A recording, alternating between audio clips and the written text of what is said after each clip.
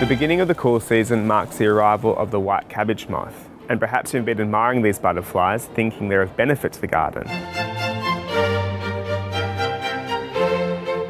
While the moth itself is harmless, its larvae hatch into green caterpillars that have a big appetite for cool season crops. Within a matter of days, the plants can be turned into skeletons and the season ruined.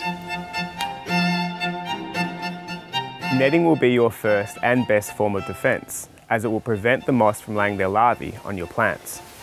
Your next line of defence is a regular sweep of the garden, checking the inner part of the plants or the underside of the leaves. Dispose of the caterpillars in whatever form your conscience allows.